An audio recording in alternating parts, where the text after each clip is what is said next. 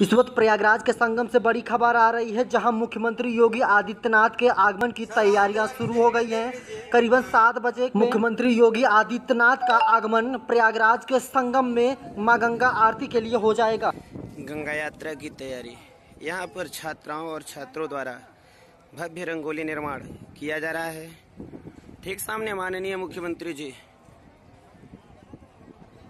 आरती करेंगे।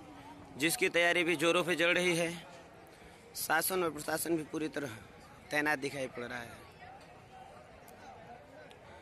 हम आपको दिखाने की कोशिश कर रहे हैं कि बिल्कुल संगम तट पर गंगा यात्रा का एक लोगो बनाया गया है। जल पुलिस के भी सिपाही पूरी तरह तैनात हैं। ये अंदर डस्टबिन न रखिएगा। डॉक्टर त्यागी जी, इस खंभे के पास में डस्टबिन है, इसे